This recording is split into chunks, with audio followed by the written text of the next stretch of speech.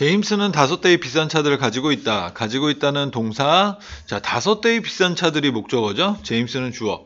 자, 제임스는 명사, 다섯 대 형용사, 비싼 도 형용사, 차는 명사. 가지고 있다 동사. 자, 그럼 일단 주어 동사 목적어니까 삼형식이 돼야 되겠고요. 어. 자, 그 다음에 제임스 쓰고 동사 쓰고 목적어 five expensive car